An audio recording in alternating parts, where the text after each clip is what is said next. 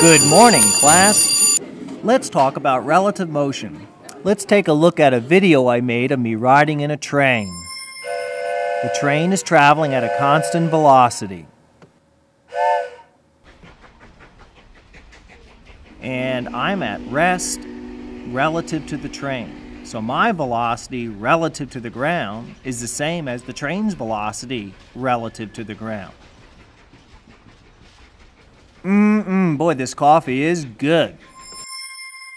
Suppose I start walking in the train. My velocity relative to the ground would be equal to my velocity relative to the train plus the train's velocity relative to the ground.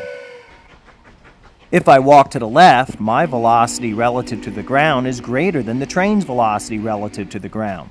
If I walk to the right, my velocity relative to the ground is less than the train's velocity relative to the ground. The equation I wrote is called the Galilean transformation.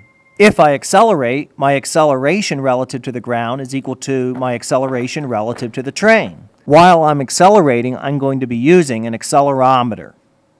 Take a look at this.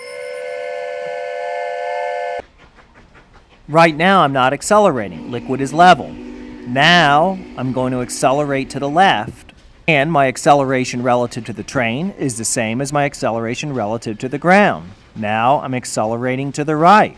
And diddle. Okay, class, that's it for today. See you next time.